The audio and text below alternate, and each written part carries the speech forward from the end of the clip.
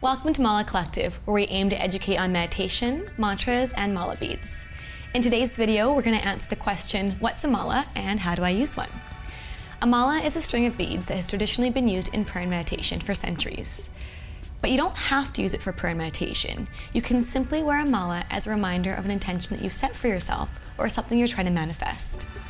If you do want to use your mala beads in meditation, that's called japa meditation. I'm going to show you how to do that right now.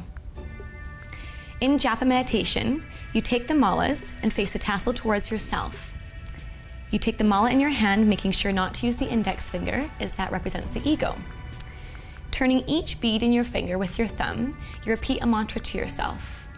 This mantra can be said out loud or internally.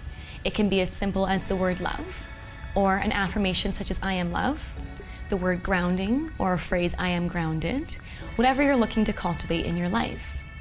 When you do get all the way around 108 beads, you'll reach what's called the Guru bead. This is the bead between the tassel and the mala. This represents a time for pause and reflection, honoring your practice, your intention, and your guru. In caring for your mala, we suggest you occasionally wash it to rid the dust and dirt from your Rudraksha seeds that build up over time. The Rudrakshas will get darker as you wear them, as they absorb your oils and your energies, which actually makes them stronger. If your mala does break, we believe in sending your mala back to Bali once to have the karmic cycle repaired. It's a sign that the intention you're cultivating in your life is no longer one that you need to cling to, and it's time to set a new intention. When choosing a new mala, think about what are you trying to manifest? What are you trying to create for yourself? You can look at the intentions of the gemstones, such as rose quartz, believed to open the heart to love, or turquoise, which protects on a journey. When choosing for a friend, consider the same intentions. What are they looking for in their life? What adventures are they about to go on? Remember to let your intuition guide you and to let it be a fun and organic process.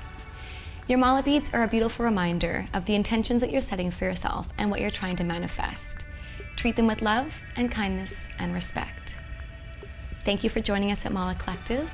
For more information about mala beads, meditation, or mantras, visit our website or our YouTube channel. Namaste.